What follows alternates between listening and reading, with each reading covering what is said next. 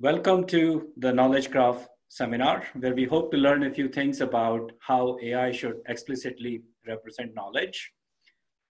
This week is the beginning of the spring quarter at Stanford. Therefore, I'm going to repeat some of the same slides that I showed at the previous session. The seminar is being co-organized by myself, uh, Naren and Mike.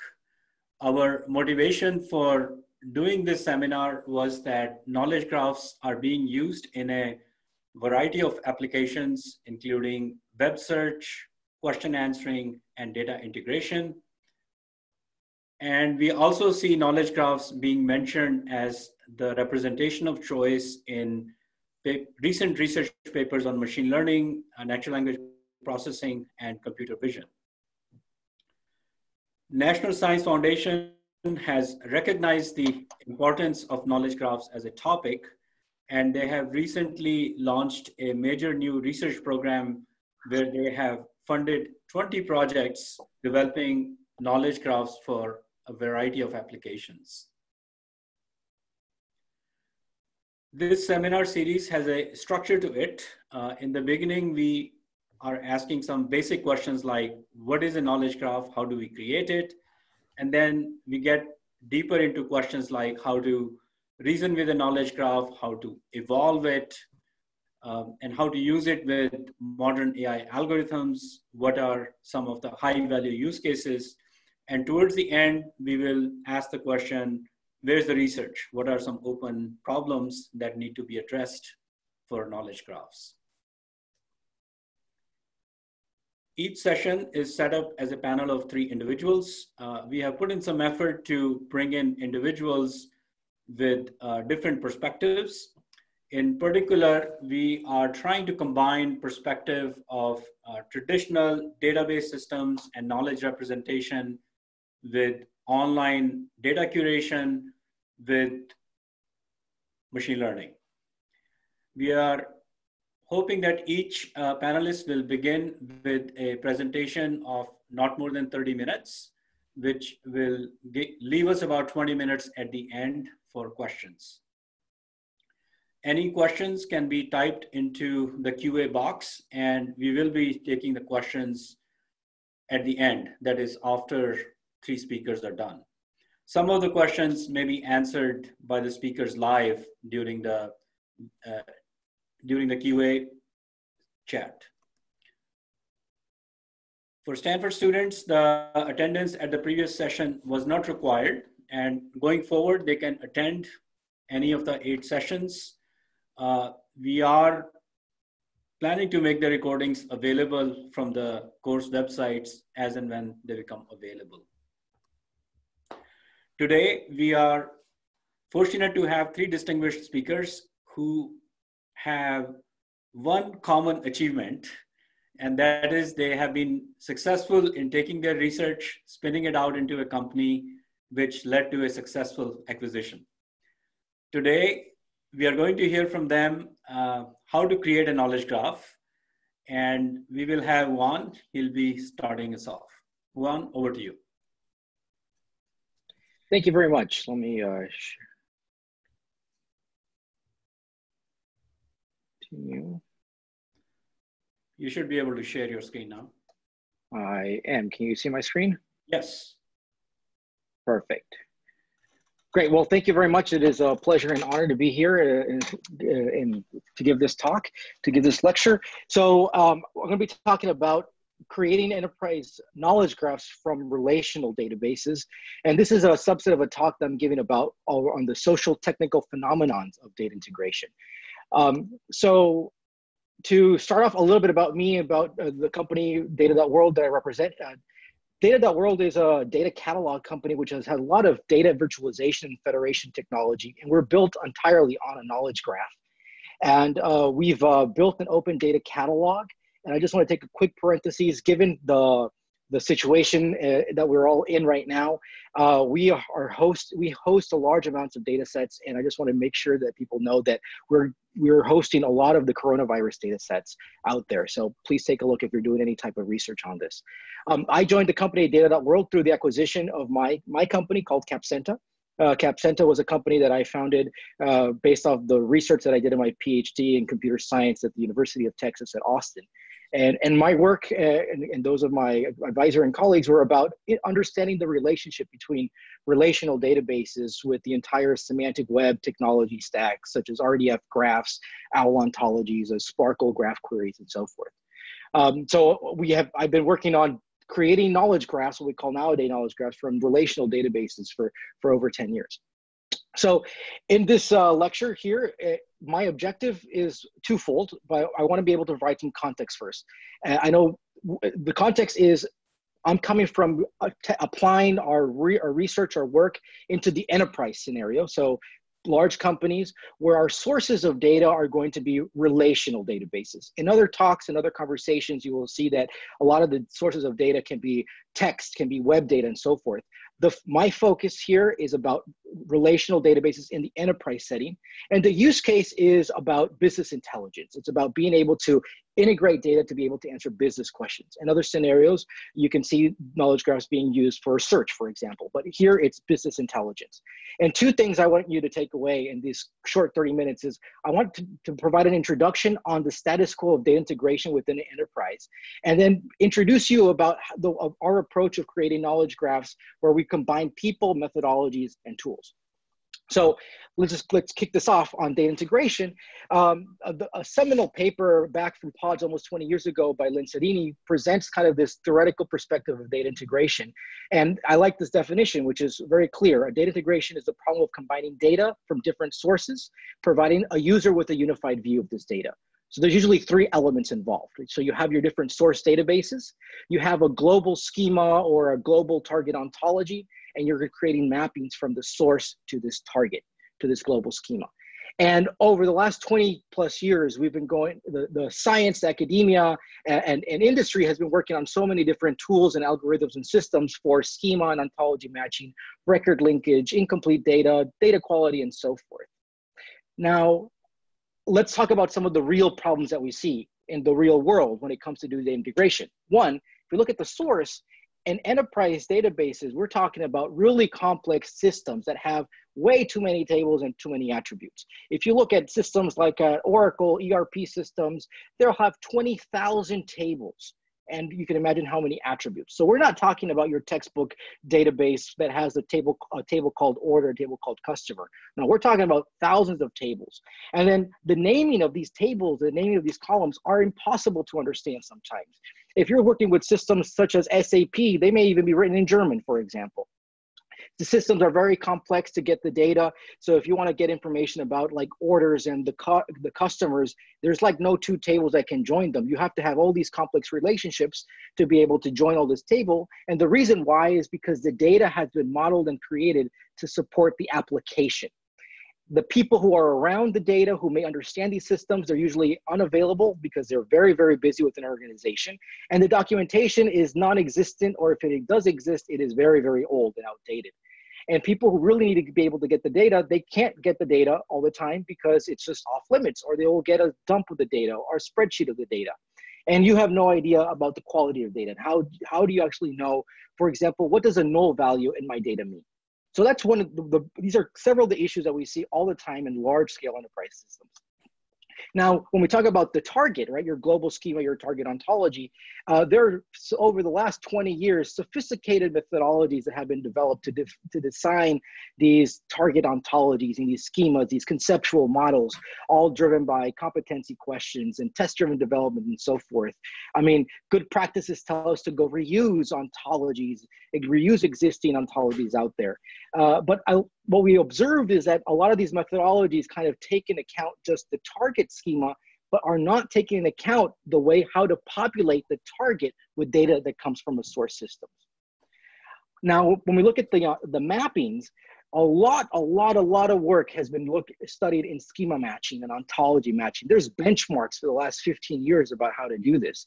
But what we observe is that these things work really well in, in theory, but not in practice for these large scale enterprise settings. What we see is that the focus has been to understand correspondences or relationships between one-to-one things. So for example, if, if a table here maps to another table here, or F name maps to first name and L name maps to last name But in reality, these mappings are much more complex. So for example, you can have table names called master order, order, P order, order P. I mean, what does these things actually mean? And, uh, and what am I gonna map them? Or large systems that can be very customizable have tables that may have hundreds of columns that are just called segment one, segment two, segment 99. What do these attributes actually mean? You have to have a lot of extra knowledge that is not available just there in the systems.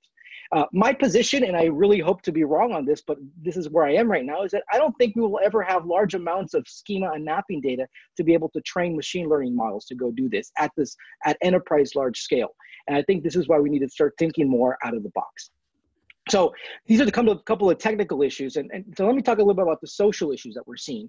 Is one, we see that what I like to call knowledge hoarding. Within an organization, people are the ones who understand how the data works, understand how the data is related. And they have power. They have they have security because everybody comes to them with this information. So when you are going to go off and say, look, I want to democratize data, I want to be able to have this data self-service, they feel threatened. And it's really hard to work with people who have this knowledge, let it be in their head and documentation that you but you may not know where it is. These are one of the real social issues that you have to go through within an organization to be able to combine and integrate data. So one of the things I want to make sure that we understand is that I, I think over the last 20 years or more, we've been focusing on data integration as our goal. Is our goal is to put data is to integrate data. But in reality, we integrate data with the goal of using the data for something. A person will use the data, for example, to answer a business question. So data integration is a means to an end. So if I asked a very particular business question, I can ask somebody in an e-commerce, uh, in the e-commerce department, this is the, let's use a use case of an e-commerce company, and they can give me a number. I can ask the shipping department and they give me a different number. I ask the finance department and they give me a different number for the exact same simple question of how many orders were placed last month. And why do they why do we have this discrepancy? It's because what do we even mean by the word order, right? The word order can mean different things to different people. For the e-commerce folks, it means when a when when the when a user clicked checkout. When the shipping is when the package was delivered. So these are when we start seeing the real semantic uh, issues that we see within an organization. So how do people actually answer these questions today? Meaning, how do they integrate data to answer these questions?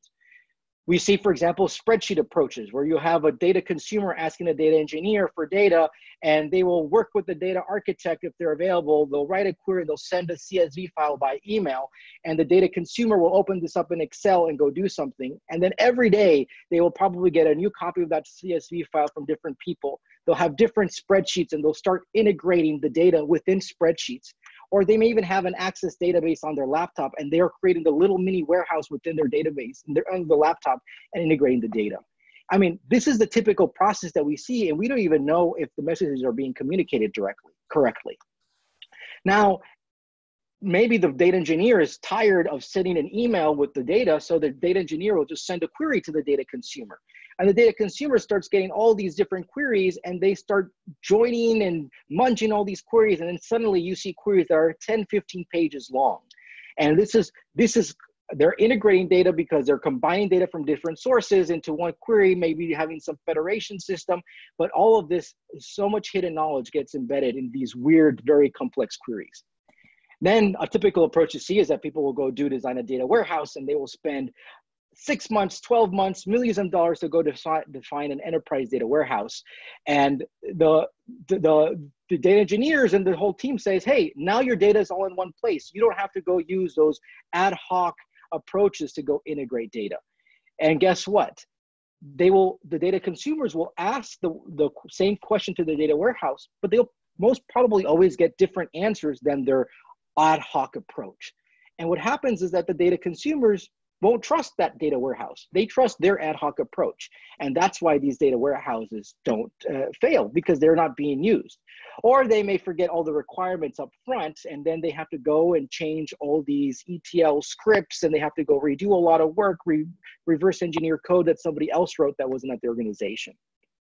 And you end up what we call boiling the ocean in these aspects. Now, a, lot, a very popular approach is the data lake approach, but really is that you're now pushing your data all in one place and then transforming it and giving it to people to consume later. So you've really not kind of, you push the problem from one place to another. Now, the latest kind of approach is the data wrangling approach.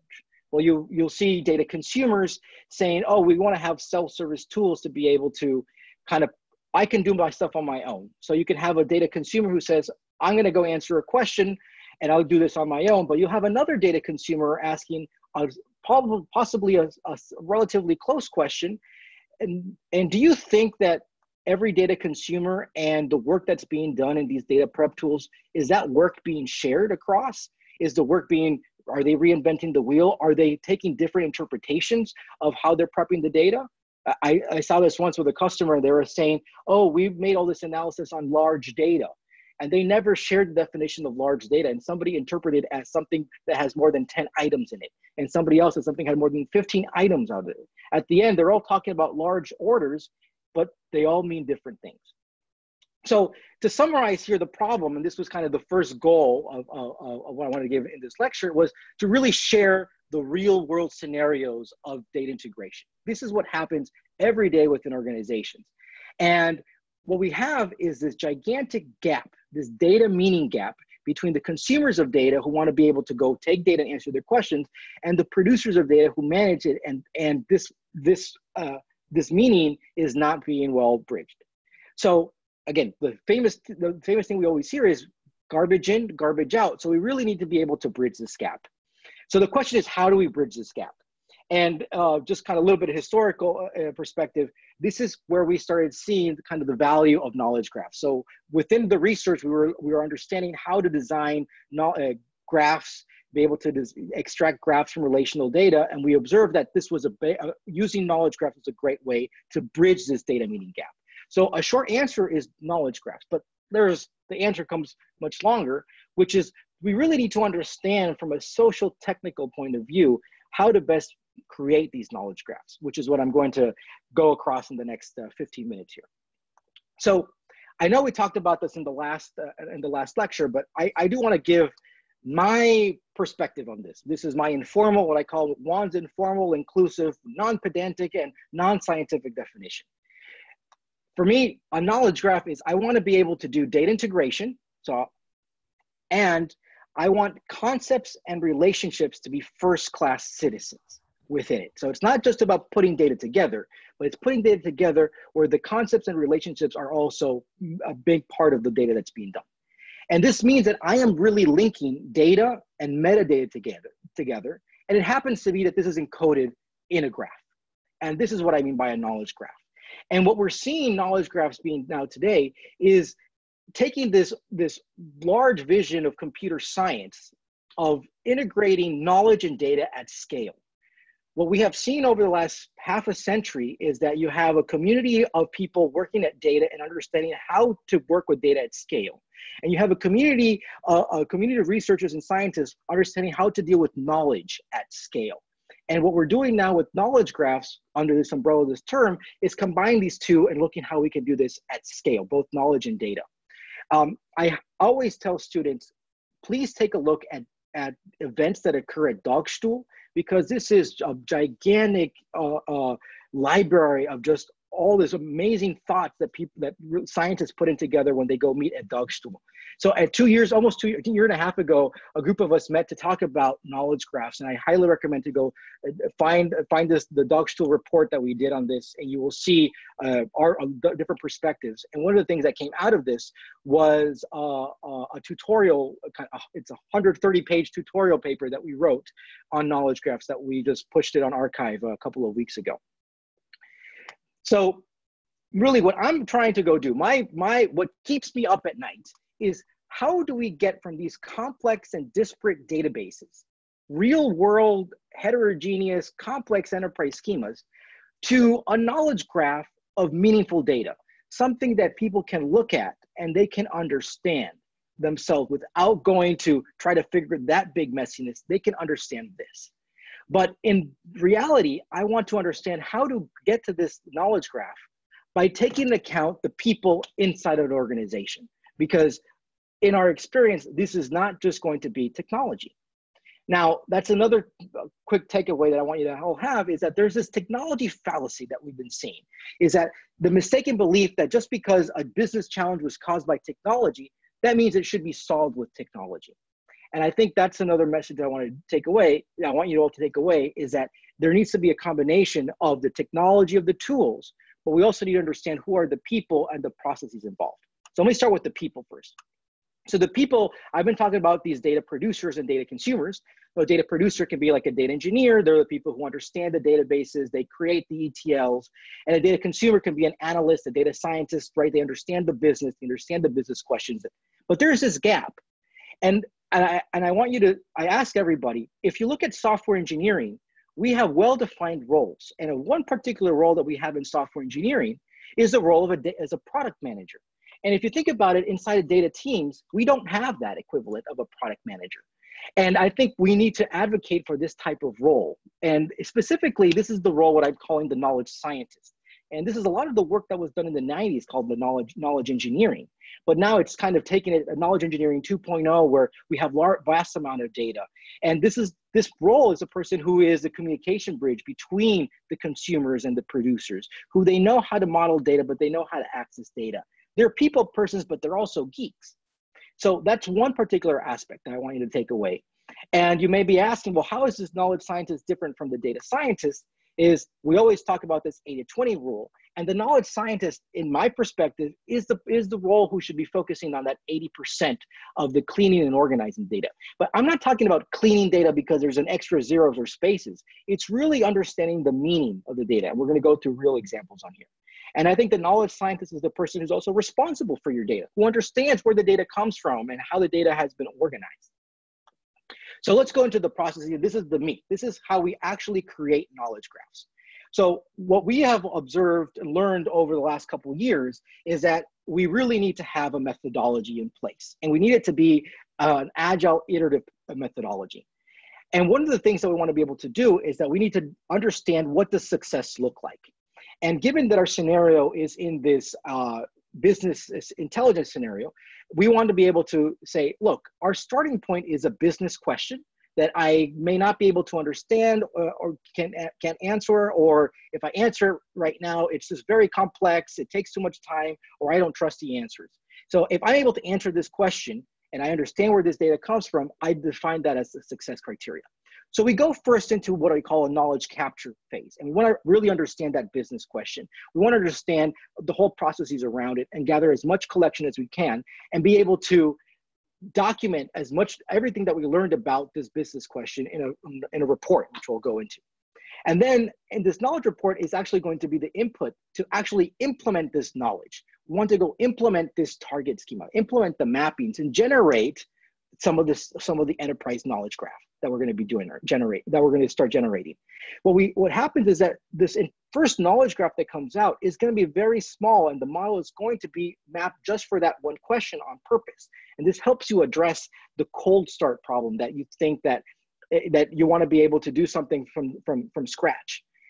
What happens next is that you now have data people can understand and they can go on and build the reports and be able to answer their questions. If they're able to answer their question, success. We can go off to the next question. And if you go to the next question, you say, hey, can I answer this next question with the data that I already have? Oh, fantastic, you're done. Let's go to the next question. And if you can't, you say, okay, what's missing? And you say, let me go expand that model, expand the data little by little, and we keep iterating through this. So let me go in a little bit into the details of how this is done. So in a first approach, in this knowledge capture phase, uh, we want to be able to understand this as is process and the workflow within an organization. So uh, we want to understand what is the actual business problem? What is the question that we want to go answer? And we want to understand why is this important? Because people will have many questions they want to go answer, and we really want to prioritize, understand who really cares about this. Now, who are the producers? Who are the consumers of this data? And how is this process being, how is this question being answered today, if, if at all? uh, where does this data actually come from? Uh, when will this data be consumed? So we basically want to go through a bunch of these who, what, where, when, why scenarios to really understand the entire process that happens today.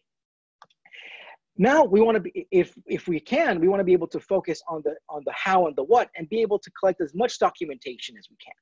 So one approach that we have, for example, is that we say, look, people are people are trying to answer these business questions today, but they're very, very complicated and it takes too much time. So let's look at the Excel spreadsheets that people have because there's macros in there that people have, or there's some ETL scripts that people are using, or there's complicated SQL queries. Let's understand who is the person who may have some rogue uh, access database on their laptop and they're doing things. Let's really collect as much as we can about this. And as you can imagine, this is where a knowledge a knowledge scientist comes in and understands how who to talk to and, and how to get that information.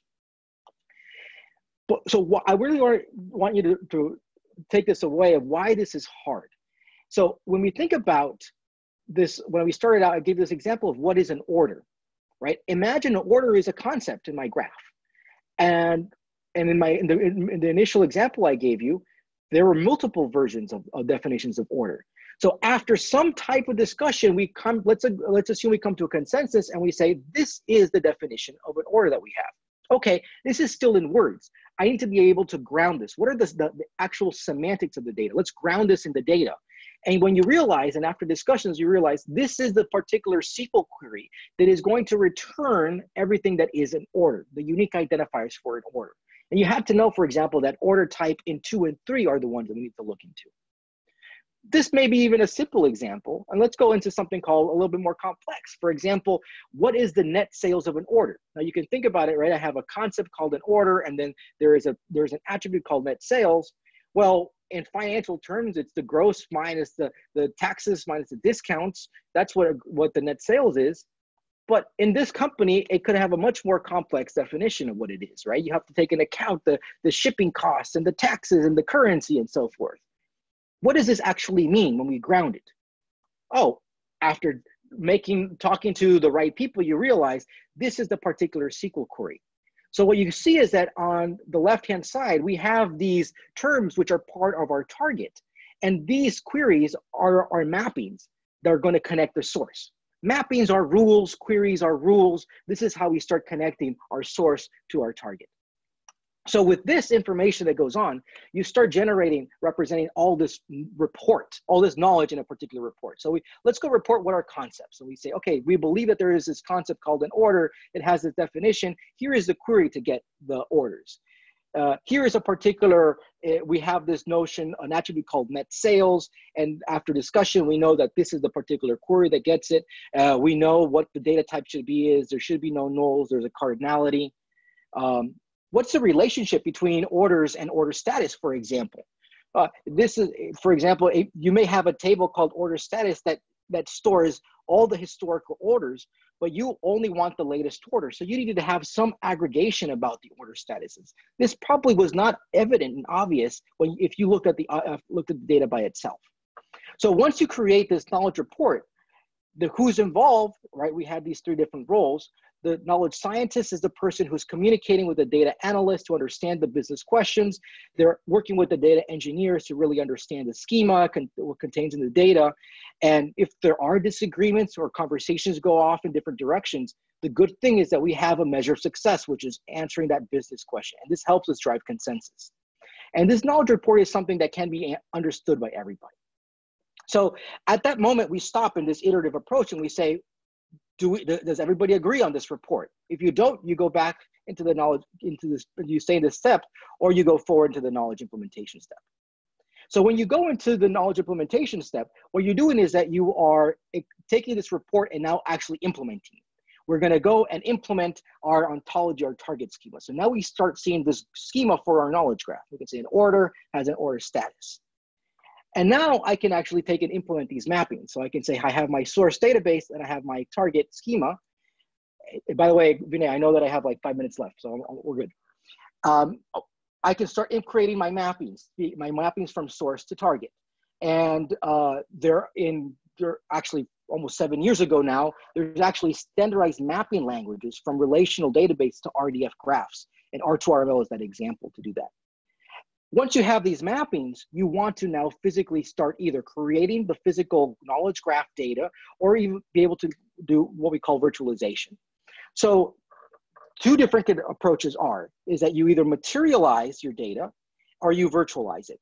And in a materialization, in a materialized approach is you're basically doing some ETLing, is that you're saying, look, I'm taking my source relational data, I'm taking this mapping that has been defined, that has been implemented and defined through the previous process, and now I can extract that relational data, transform it to my graph using my mappings, and that can then load it into a graph database. Or I can do the virtualization or the opposite, what we call the no ETL approach, is you say, look, I want to write a SPARQL or a graph query in terms of that graph model that I have. And then our virtualizations, our semantic virtualization engines will take these SPARQL queries and use the mappings to translate them to a SQL query down to your database, and then it returns your answers. Or you can just, if you materialize the data, you can now write these queries directly onto your, into your graph database. So a lot of this work, a lot of the science, this was actually my PhD. This was actually what we what we got out of the research and we patented and make the company about was be able to do these virtualization aspects between uh, SPARQL queries over relational databases.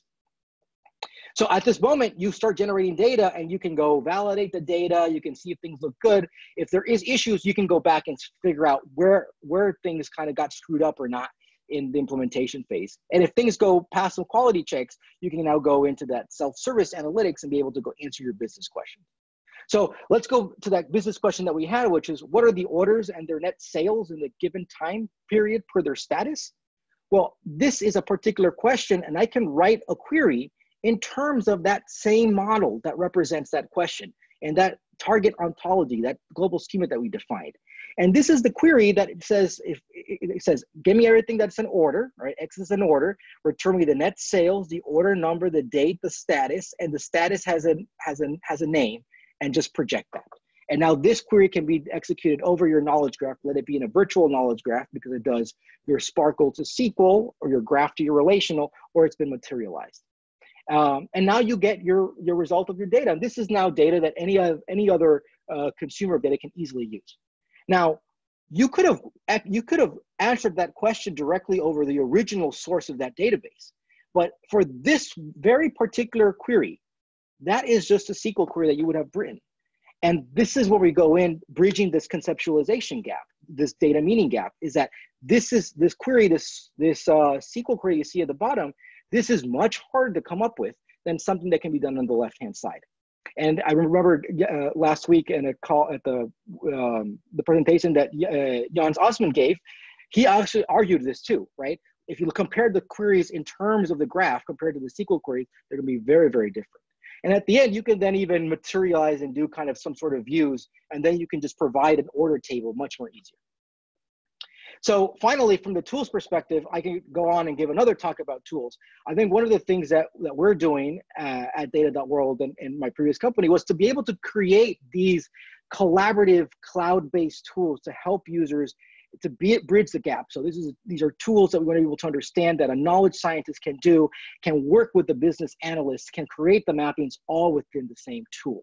Uh, because what we see is that one of the advantages of working with graphs is that you can write it on the whiteboard.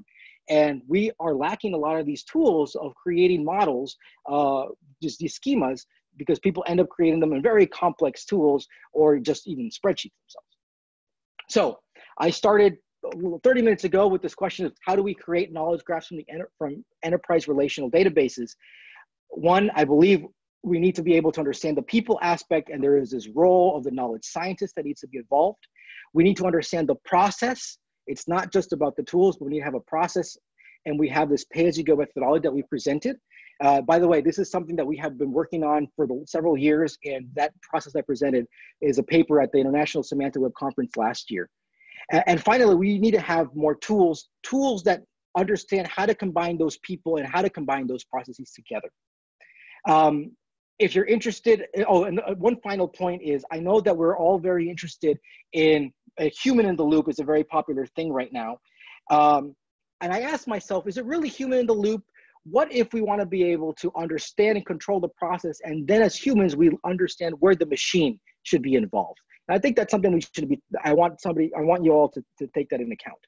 Um, kind of finally to wrap up here, if you're interested more about the history of knowledge graphs, uh, together with Professor Claudio Gutierrez from the University of Chile, last year we've been working on, we, presented an entire tutorial about the history of knowledge graphs and you can find a paper that we have designed there. Um, we're hiring at Data.World and we're always looking for research partners. Uh, with that, thank you very much for your time. Thank you, Juan, very much for an impassioned presentation on how to create a knowledge graph. Our next speaker is going to be Chris Ré. Chris, over to you. Perfect. Thanks, Emma. Looks good? Yes, we can see it. Great, wonderful. Yeah, thank you so much for, for having me. I'm excited to chat with you about this. Uh, I've worked on knowledge graphs in some form for, for a long while, and, and Xiao, who I'll talk, uh, talk next, is, has been doing some really exciting work in, in that space, and we, we collaborated and worked together. And as was mentioned, did a company that was acquired by Apple. What I'm going to talk about is some work that grew out of that work in knowledge graphs and really was at this uh, kind of centerpiece of how do we fuse knowledge and statistical machine learning together uh, to build these new kind of systems. And it led to a bunch of work, which is in weak supervision, uh, which powers actually some systems you, you may have used, but is really to me a fundamental problem in machine learning. How do we bring knowledge and statistical reasoning together? So I'll, I'll describe it to you uh, in those terms. So if you think about a machine learning application at a high level, it really has three pieces. It has a, a model, it has some data, and it has some hardware. And if you're someone who's been really following the area closely, you know that you know cloud providers and all the rest are bringing hardware out there. Um, but also models are available in a way like never before. You can pip install models from say places like Hugging Face that are great, and automatically you have you know state of the art models for for various different things. And that's that's because people have invested so much time in that software infrastructure. So these two things are available in like never before. But somehow this this key ingredient, the training data, is not available right? And in some ways, it feels like it, it, really can't be available or commoditized in the way of the first, the first and the last, because it's really the way you program. It's the way you define your application. It's the specification that you're trying to build. And so in a real way, training data has not been commoditized. And so we started to look at this idea of could we make it sort of a little bit less awful to create all that training data, as our last speaker talked about, that is lacking in a lot of these applications. Now, when I teach, you know, 229, um, you know, the first content-filled lecture, lecture two, we start with supervised machine learning. And we start with these X and Y pairs. We say there's some X's and we want to predict the labels Y that are on top of them. When we look at this uh, information, we have no idea where those X and Y pairs come from. And when you talk to machine learning people, sometimes you feel like, you know, these X and Y pairs just fell from the sky and they, they came from God herself. And, and that's really when machine learning begins. Now, as anyone who's, who's actually built one of these products in, in industry or uh, in scientific applications knows, that's not the world that we live in. More often, instead of hanging out with Beyonce in kind of a beautiful environment, we're hanging out in an environment that looks a little bit more like this.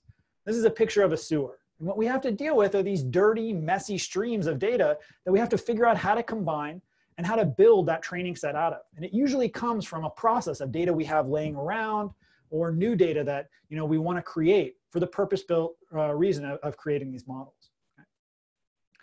So what this work led to, and, and some experiences in extracting and building and using knowledge graphs, is really this idea, could we build a mathematical and a system structure that captures some of this messy process, that sort of captures all the information that we know is going on there and kind of makes it a little bit less awful. Now, I'm going to go one step beyond kind of just making it a little bit less awful. And I'll argue for the next little while that this is actually a place that's really critical in machine learning right now, sort of the state of the art in machine learning right now. What I mean is that this is supervision, this kind of uh, training data construction is actually where all the action is. And modeling differences are vastly overrated and supervision differences are vastly underrated. Right? Now, it's not that models aren't important, they're clearly important. My lab still works on them and all the rest. But I think this weighting in our mind of what makes a successful or a failing machine learning system really has been weighted kind of strangely over the last couple of years. And we need a little bit more work on the supervision side. And lots of folks are jumping in here, but I want to highlight it. Now, as I mentioned, I, I, like to work on kind of real and interesting things. We've worked a lot with folks over in the medical school. Uh, this is a uh, joint work that I'll talk about just to highlight one piece that was in radiology, a clinical journal. Uh, all the people in ties are physicians. The people without ties are, are not physicians on this paper. And it was just published in Radiology in 2019. So let's look at this problem. So the problem we want to look at is we want to understand, you know, there are too many of these images, these radiographs. And the problem is the experts that could look at these images simply don't have time. So the image is taken and actually no one ever looks at it. This is like a perfect example of something that you would want to build machine learning systems on, and maybe even use medical knowledge graphs to help you diagnose them. Now, I'm not claiming this. Many other folks have talked about it. We're not identifying this problem. But Jared, who was on the last slide, just started to ask, what would it take to really build a machine learning system here that would help with this kind of triaging application? So we looked at this question and said, you know, is, is machine learning really the answer or deep learning really the answer? And it turns out this is really not an easy question. At the time, there was no benchmark data set. There are now benchmark data sets that are being created, which is great. The effects of data quality were completely unclear on these models. There was no assessment of the existing algorithms on top of these models. And there was really no feedback from the clinical community. So he spent a year trying to answer this. He created a large data set of clinical labels. He evaluated the effect of label quality. And importantly, he published it, as I mentioned, in a clinical journal. Now, I won't bore you with all the details of, of this thing, although it's a very cool paper. I, think it's one, fun to read. But here's one little takeaway from the paper if you know your machine learning and you follow the state of the art, you recognize some of these names. AlexNet, one of the famous models in, in machine learning and image classification. DenseNet, one of the most famous recently as well. And there's their test accuracy. Now, what's interesting is that top model, the bag of words model, that's a model you could have very sort of conveniently trained in the early 2000s. And so the difference between them was actually only a couple of points. So in a real way, the label quality and quantity mattered way more than the model choice, at least in these examples. Now you may look at this and say, oh, well, maybe it's an easy example. I don't think it is, but maybe you think, oh, these are kind of easy things. What about other areas of machine learning? And I'll just highlight that even on things like benchmarks, like CIFAR 100, which is a, a very popular image benchmark, if you remove data augmentation from your pipeline, all of a sudden you're talking about losing tens of points in accuracy. Whereas the models that are trained here, people are fighting over, you know, one point here or one point there. So all I hope to get across from this is that training signal is really key to pushing the state of the art in a lot of different areas. And it's really important. So two that I love to highlight here, Google had this great paper, Auto Augment. It followed on a paper that my students, Alex and Henry, uh, wrote in uh, NeurIPS 2017, which basically looked at this idea of learning how you change and modify data as a first-class citizen. Sharon, Sharon Li, who was a postdoc in my lab, but did this work before that when she was at Facebook, trained this absolutely massive model where she used weakly supervised pre-training to train these kind of big image uh, data sets. And sort of, this is a really exciting way of using all that data to make more robust models. And for a while, that was actually the state of the art in image classification. So what I hope to get across is that this is really at the forefront of a lot of machine learning. I will do a little plug here. Uh, Sharon has a great blog post that she started writing. She will be writing one about how text augmentation is, is actually getting used, which is something we're really excited about. And that's something interesting in knowledge-based construction uh, as well. And I invite you to take a look at those various different blog posts. Really exciting stuff. So at this point, all I hope that I've convinced you of is that training data is some kind of new bottleneck. And if you haven't thought about it before, you may wonder like, well, in what ways is training data kind of bad? I would argue that the conventional way that we build these training sets are way too slow, they're way too expensive, and importantly, they're static. So what do I mean by this? Well, they're slow because the first label that you produce and the last label you produce in traditional manual annotation, they cost about the same amount. Humans don't get radically better at creating these data sets as they go through them. They're also very expensive. We have a paper that appeared this last year uh, in Nature Communications, in which we were looking at radiologists who were looking at uh, videos of the heart, and they realized that actually only one out of every 200 images actually was something that they could find the phenomenon they cared about, this rare genetic defect. And so as a result, they were unable, it was cost a huge amount of money for them to label uh, and look at and label all these videos. And more seriously, these problems, these labels are typically static. So these are things like if you imagine you label your data set as positive and negative, and then someone comes back to you and says, I want positive, negative, and neutral. Well, the conventional way that you'll deal with this requires that you simply relabel the entire data set. So we wanted to look at a way of fusing knowledge into the process to try and make it, as I said, a little bit less awful. This doesn't mean that we've solved the problem entirely, but we want to look at approaches that try and mitigate some of these things. And as I said, it's an ongoing process. So we looked at one framework, we've actually looked at a couple, and I'll talk about this one in terms of programmatic labels. So they're faster. The idea is you're gonna write these little programs that are gonna label lots of data for you. And so once you write them, they can label huge amounts of data at sort of AWS or machine speed. They're gonna be cheap because they're also gonna run at machine speed, and we'll talk about some of those examples. And they're also dynamic in that you can refactor your labels like code instead of having them just in kind of this extensional data that's just laying out there for you. So the trade-off, and this is what we're gonna worry about statistically, is that these labels are gonna be much lower quality. So we get this, this, all this good stuff of fast, cheap, and dynamic, but we have a problem. These labels are gonna be potentially have errors, and they're potentially going to be correlated in interesting ways. And so we're gonna try and reason about that, and the art is to reason about that without resorting to traditional hand labeled data. So how does this work? So first we're gonna need an interface for training data via weak supervision. I'll describe that. We'll talk a little bit about an approach to learn quality and correlations of sources. There are other slides and an entire other website I can point you to if you really care about the technical details. My goal is just to give you a sense of what's possible here. And then you'll be able to train an end model. And so if you look at this from kind of an AI knowledge graph perspective, what we're trying to do here is take human knowledge expressed in these programs or things from the discrete knowledge graph world and kind of blend them very nicely with modern deep learning techniques. That was one of the impulses for building these systems. Now, we didn't invent the idea of using lower quality labels. This is something that every machine learning person worth their salt has have been doing for at least a decade or more. You can go back to things like Hearst patterns in the 90s. People were using these very heuristic kinds of rules to help them label information in text to be able to extract knowledge graphs. People have been using knowledge graphs in a technique called distant supervision for a long time, where you have a set of tuples or triples and you try to look for them in text to be able to extract more and sort of find the linguistic patterns that allow you to complete your knowledge graph, sometimes called knowledge-based completion. And my point is we talked about augmentation. There are many, many more of these. The idea here, we were going at is saying really to build these exciting big knowledge graphs and a host of machine learning projects, you really had to figure out a way to take these ad hoc methods that were applied one, one at a time and put them together and these, instead of being isolated, figure out how to combine them. And so that's where the theoretician in me kind of takes over. We started to try and understand, could we come up with a formal, unified, theoretically grounded approach for programmatic labeling that would encapsulate many of those different things and make it easier to build this next generation of programs? And we came out with this thing called Snorkel, which I'll describe, uh, which basically took in all those weak supervision sources, tried to assign confidences to them, and then uses that downstream in a whole host of different things.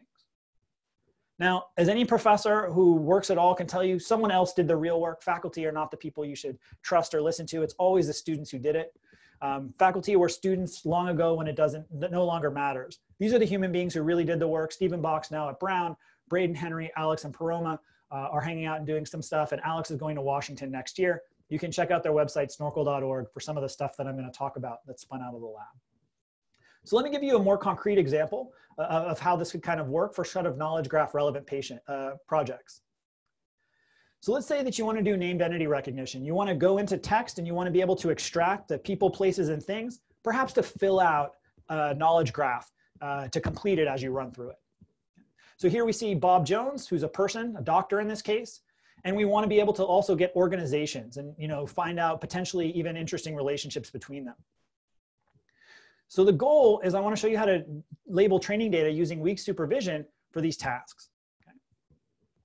So basically the way that it works at a high level, if we look at this St. Francis entity here, is that we would have various different labelers. So let's look at a simple labeler.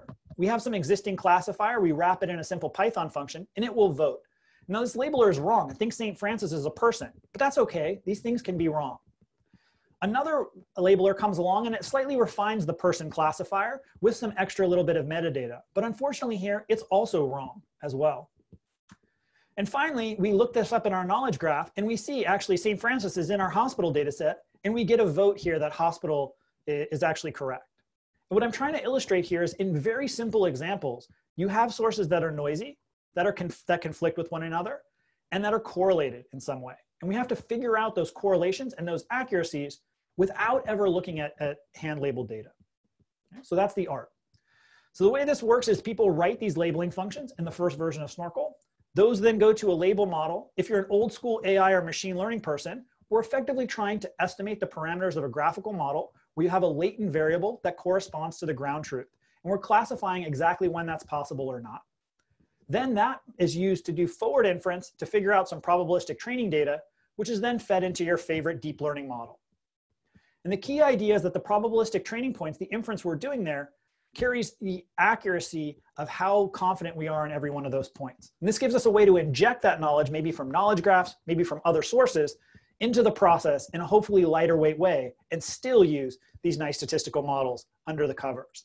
I should say for historical reasons, we did try to do it in many other approaches. This is our most recent incarnation of trying to do this rather than fusing them, say, bottom up, as we used to do maybe in the DeepDive days, the system that we wrote a couple years ago. So why might you do this? A couple reasons. First is that it improves generalization. People tend to write these rules that are very precise, but for example, the deep learning model knows things about synonyms and can relax them in kind of an optimal way. And so the recall of this extraction task that we are talking about can actually be dramatically improved. So your labeling function may mention a certain set of terms, treats, causes, disease, uh, induces, prevents.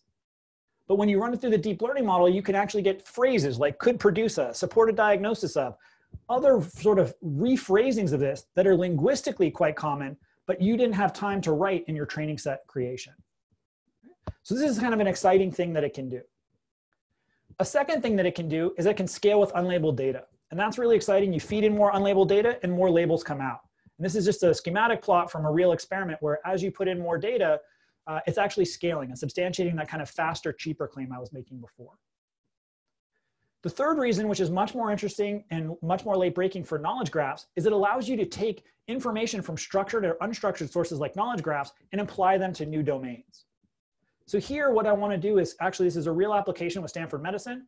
I want to be able to look at those radiographs that I described and classify them as abnormal or not, actually to a more refined hierarchy, but just take it there. The problem is labeling these images is quite intensive and quite expensive. So what we want to do is use training data as a medium for knowledge transfer.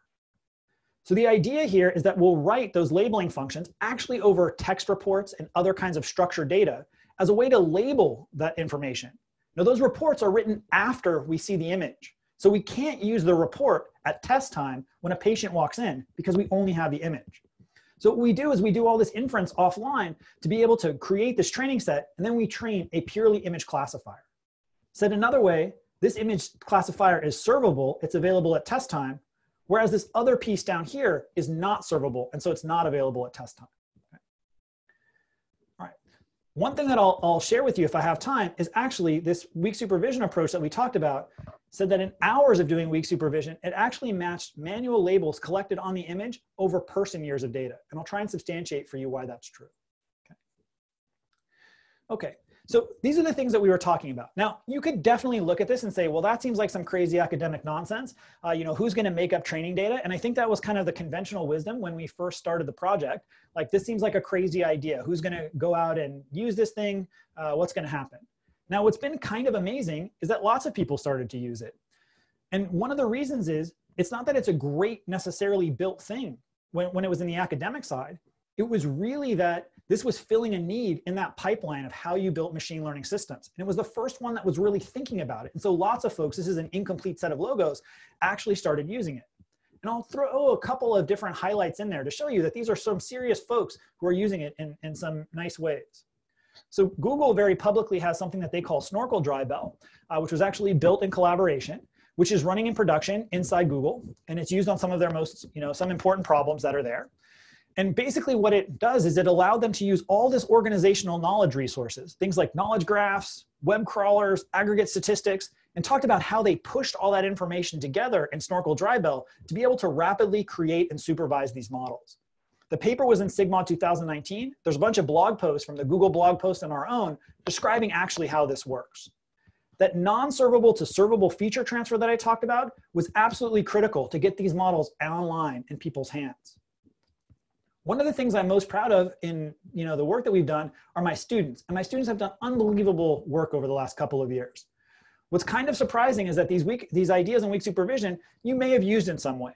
I'll flag one system that was really exciting to construct at Apple, uh, which is a system called Overton, which uses knowledge graphs in various different ways. It was you know posted online. You can you can check it out. And also the Gmail folks were really nice to talk about how their infrastructure really pretty closely mirrors what goes on in Snorkel. And they were, they were very generous about doing that, especially in the talk about how this was built actually into these, the extractors inside uh, Gmail and how they able, were able to create an entirely new way to build their system using these kinds of ideas. So I'm pretty excited about how this changes how people program. I would also throw out some data. This is some data from that CIDR paper that I just mentioned. Actually, a number of teams started using weak supervision much more dramatically than they were using sort of conventional supervision previously. And so you start to see that the amount of weak supervision in industrial products is actually creeping up over time, which is super exciting. And this is not just unique to this paper. We've heard anecdotally from many folks that this is actually how they're starting to construct some of their models related to things that look like knowledge graph, extraction, and even image applications. So super exciting. I also want to point your uh, kind of uh, look you at a couple of different places here. Things like Ludwig, which is a super cool system I would point out from Piero. It's online Uber. Piero Molino wrote it. It's a really awesome system that shares a lot in common with Overton and is really like, you know, one of those things that is just a, a really well done system. Andrej Karpathy, a former student here at Stanford, uh, now at Tesla, wrote this great blog post about Software 2.0. I think people looked at it and didn't really appreciate all the really exciting things that are in there about why software is changing. And I think Snorkel is an example of, of how, it's, how it's changing. And of course, you know, these new tools that have come online in the last couple of years, funded by various different large companies are exciting. I focused a little bit on the on the side of here of, of places this has been used in industry, but I want to point out that in medical cases, this is some of the stuff I'm most excited about. People using this cross-modal weak supervision, uh, which is coming out in press relatively soon. We've used it to do things like extract the GWAS data, largest GWAS data set. These are these genome-wide association knowledge graphs, was actually built on top of this. This is the Nature Communications 2019 with a Volodymyr. Uh, actually built that. He built that independently of us on top of Snorkel. It's been used on medical records to do medical record extraction. Uh, Allison and Jason Fries, the npj uh, digital medicine was all about that. And it's even been used on a bunch of imaging applications. I'll even point out that it was used to do a build, construct a large knowledge graph of how of patient injury and death inside the FDA to try and look at machine sort of patient notes and do machine reading around that to find complications uh, inside the data set. So these are places where people had something implanted in them, uh, you know, a hip replacement, a knee replacement, and they're in their medical notes, it would say some indication of pain or discomfort. And Jason Fries, who's on the job market now, there's some people, you know, on the line. If you're hiring, Jason's amazing. You should hire him. Uh, he wrote this wonderful paper about using snorkel-like ideas. And in the same spirit, he actually just tweeted out something this morning about using this and creating a resource that can help people with sort of COVID-related things. This is all Jason's doing. It's super exciting. Okay, so let's just go back for radiology for one minute so I can establish kind of what I, what I mean here by quality. How does this thing work? So remember this example, we have a bunch of text, we have some labeling functions, we have a generative model, we have a discriminative model, and we want to chain an image classifier. So we want to leverage this idea in Snorkel, which is called data programming, to go across these different modalities to make this a little bit easier. This part is the servable part. We want the image. This part is not servable in the text. So this is real data. So these are physicians collected person months of data, and this was the AUC curve that they got. They collected years of data, right? And here they actually got, you know, this is the curve underneath it, where this is after a person years of data collection. Jared, my postdoc, uh, and now uh, who just who's just leaving uh, to to go do a bunch of cool stuff and is now becoming a visiting researcher here wrote, sat with them for eight hours. Now, Jared's super smart, so his eight hours is not equivalent to everyone's eight hours, but it wasn't person years. He sat down with these folks, not being a domain expert, and said, what are the indications in those reports to be able to train those images? And he just gave himself, you know, a Saturday basically to do this with them. Here's the results of using Snorkel. Now, it turns out here that actually you can get higher quality. That's great, but that's not what's really exciting. What's really exciting is instead of taking your machine learning system that we're talking about human in a loop, instead of taking it from days or years or months to be able to get your first results, this is potentially getting first results in hours. You would love to be able to have to move to this model of kind of much more iterative machine learning, not something we're working on quite a bit. And I think is a place where knowledge graphs will play a really intimate role. We have a lot of related work. I'll flash a blog thing up here uh, about weak supervision. There's lots and lots of stuff that's related, and it's super, super exciting. One other thing that I'll point out, because this is a sort of knowledge graph stuff, is that this software 2.0 and weak supervision has also been used for data integration and data cleaning. And Theo, a former postdoc in my lab, uh, Shu, who's now a professor at Georgia Tech, and Ihab Ilyas, who's a professor at Waterloo, have a great tutorial that's been given a couple times recently in Sigmod, VLDB, and KDD about how data integration and machine learning actually fit together nicely. And they have some really exciting results about how they can improve both the precision and the recall compared to state-of-the-art approaches to cleaning. And as our last speaker mentioned, one of the things that's hard in these data integration and data cleaning problems is getting that training data. So that's been something that's really exciting to see that you can address that over some structured data. And I'd point you to those folks because they're the real experts on this, not me. So the last thing I wanted to talk about very, very briefly is some of our future directions. And I wanted to give you this analogy because I think we're just at the beginning of this kind of high level change about how we build these machine learning systems. So if you think about the conventional programming stack and compare it to the machine learning stack, you think about individual labels, they're kind of the zeros and ones of, of machine learning. And they look like a machine learning language. They're kind of like the bit banging that you would have to do, you know, if you didn't have an instruction set. You just program by putting in zeros and ones. These labeling functions and what we've been writing here in Snorkel, those are really almost like assembly language. They're very low level still. They're kind of trying to summarize a lot of different different issues that are there. And the statistical theory, which I haven't gone into, tells us how to figure out how accurate and how correlated they are. There's a whole line of work on that, on the getting that nailed down.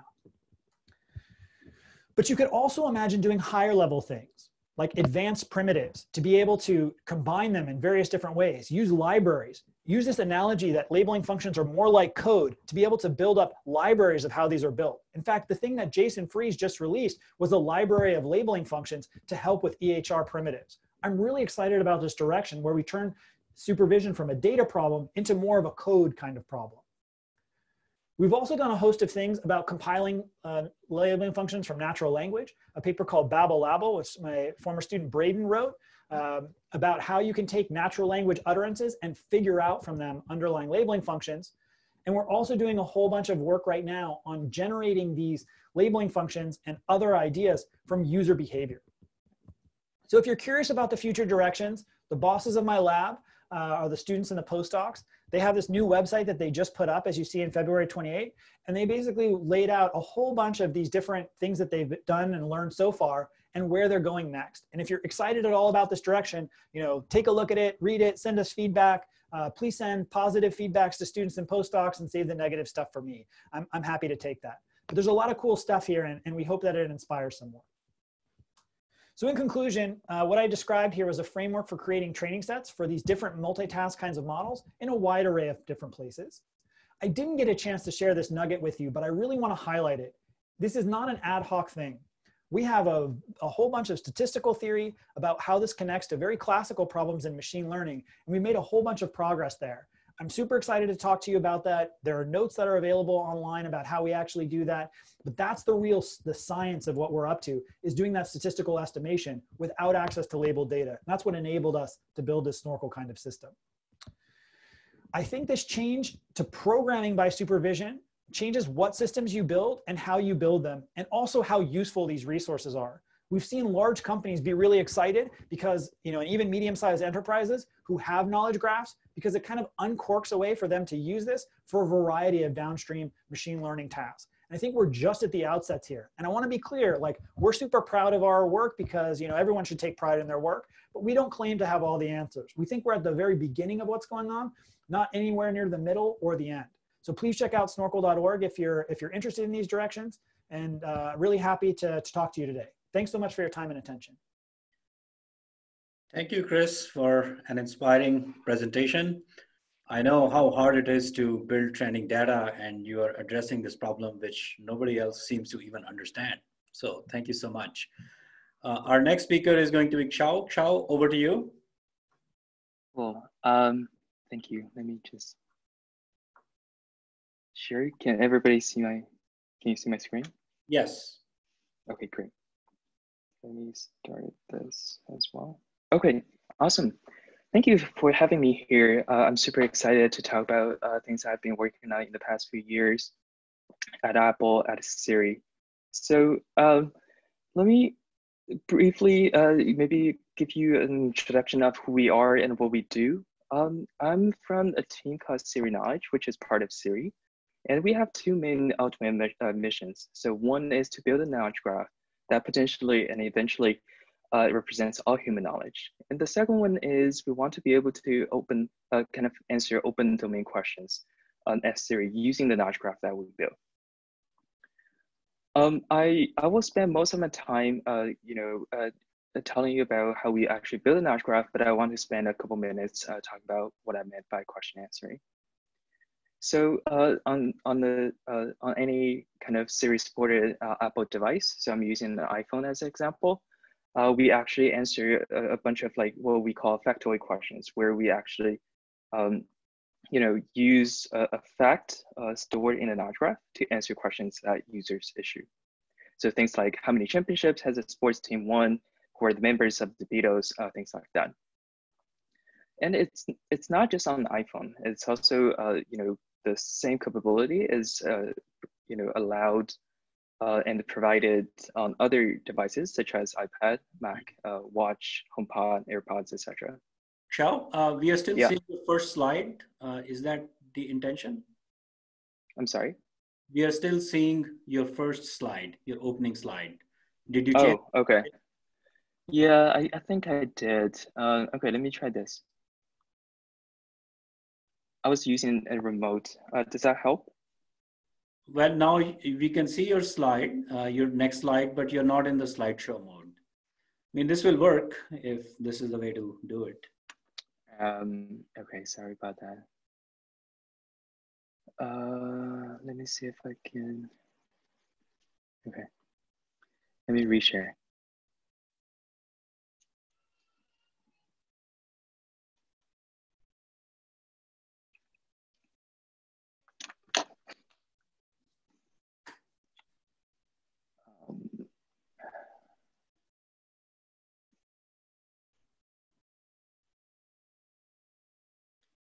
So you can see my slides right now, right? Yeah, On but the, not okay. in the slideshow mode though. Okay, let me try this. Yeah, we can see it now in the slideshow mode. Okay, great. I, I apologize for that. Missions. That's the slide title. Missions? Yes. Can you can you see the next slide? Uh, no, it did not change. Okay. Um,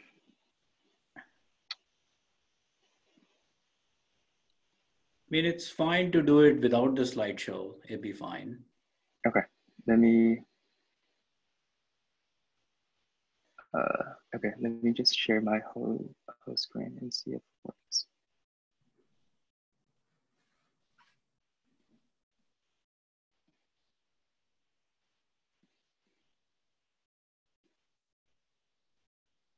Does that work? Yeah, that's working. Now we are okay. seeing open domain question answering. Okay, all right. Sorry about that. Uh, let me quickly recap. Um, so I was talking about two missions. The first one being uh, building a knowledge graph representing all human knowledge. And the second one is to be able to provide question answering capability for uh, those factoid questions. And I was uh, referring to some examples presented here and also devices. Um, and I'm moving on to this slide. So in addition to uh, you know Siri uh, services, we also provide you know similar uh, question answering services to uh, uh, things like Spotlight. If you're you're using an Apple device, you might be familiar with this. Uh, you can just type a query, and we will show you the relevant Siri knowledge card. In addition to that, there are other a couple you know other features that we support so for example, if you uh, highlight a, a phrase or an entity you want to look, look up, uh, you can actually uh, do the highlight and look up uh, feature. You can use that feature on Mac OS. Um, on Safari, if you type a query directly, if we can answer, uh, if there is, uh, this is a question that we can answer, we'll just show you the right entity from the address bar. So uh, that's um, that's kind of a very brief introduction of uh, what I meant by uh, question answering. I'll be spending most of the uh, you know rest of the time uh, talking about kind of how we actually build a knowledge graph as Siri. I want to start with uh, how we actually look at this problem at a high level. We view this as a data problem. We basically have a bunch of inputs, generally categorized um, by you know in four classes: unstructured data, so things like text, images, videos, uh, things like that, where, you know, from a machine perspective, there's just no structure because, for example, a news article is simply just a string, a sequence of characters. Um, the other classes are semi-structured, structured, and manual curation. the semi-structured data has uh, usually just syntactic structure, but uh, the individual values are not semantically annotated. Uh, structured feeds are more like, um, uh, you know, maybe individual, maybe tiny knowledge bases where we want to integrate. Um, things very similar to the first speaker, uh, what, what first speaker was talking about. We also have a curation capability where uh, you know a human annotator can go in and just uh, mark something wrong. Um, for example, we have tons of automatic extraction system running, so errors are in, inevitable. So sometimes if there is a production issue, then we, we uh, uh, it's nice to have this uh, capability.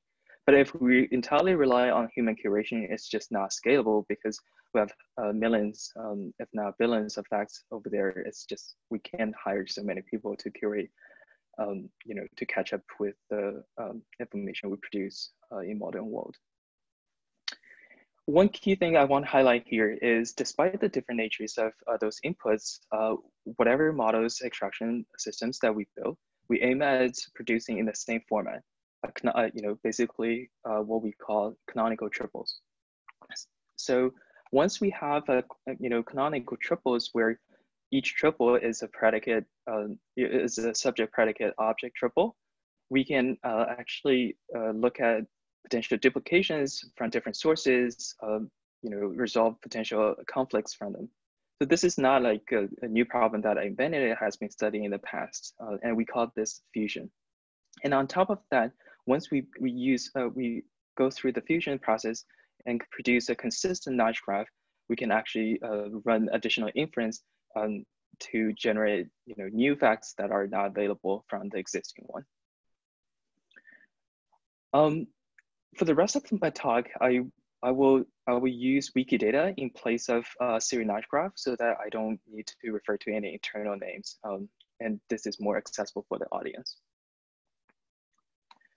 All right, so uh, this is how we kind of, um, you know, build our knowledge graph from the high level. I want to introduce you to two concrete problems we have studied in the past. So the first one is called info box extraction. So the problem is really simple. Uh, it's actually tackling the, sec uh, the semi-structured data where you actually have a, an HTML table. I call it a semi-structured because uh, the HTML markup, it's syntactic.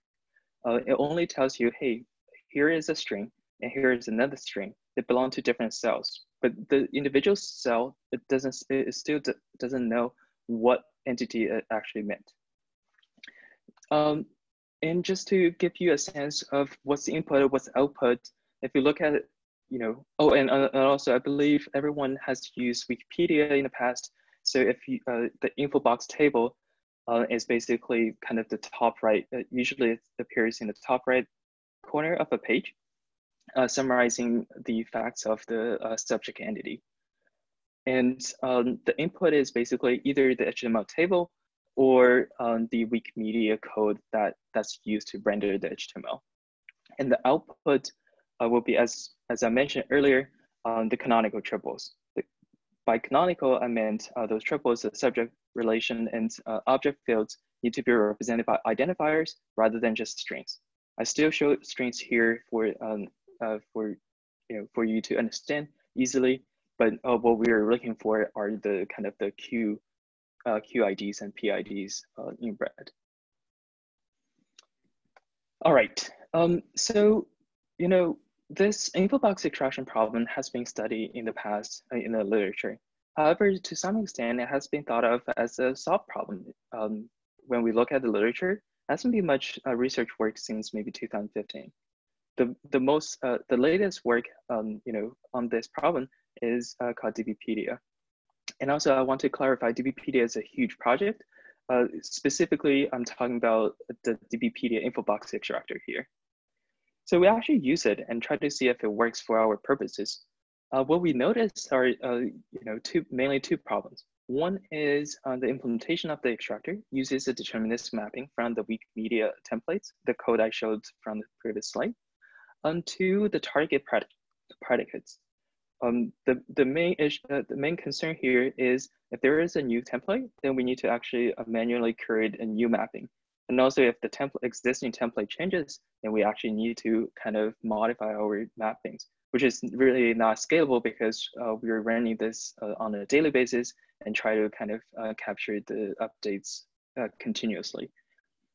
The second main problem of this is the extractor actually relies very heavily on the anchor links presented in Wikipedia. And sometimes those anchor links can be wrong. So in this particular case, um, the uh, DBpedia extractor actually extracts a triple that says Barack Obama has a child called the family of Barack Obama rather than Malia because the anchor link is wrong. In addition, uh, the DBpedia extractor just doesn't um, handle the unlinked names very well. In this case, Larry King has been married for multiple times. It only extracts one single name from this list. And from the question answering perspective, if we don't have the full information of um, his marriage uh, history, then we potentially can uh, provide a wrong answer when user asks uh, when user asks about uh, Larry King. So uh, to be able to kind of uh, overcome these challenges, we actually built a new system called RIPE. Um, we instead of using the weak Wikimedia code as input, we actually use HTML because HTML is more robust. Um, the changes to HTML in the past decade matter very little in our context. And uh, additionally, we, we made a decision to actually use a machine learning model to extract such things.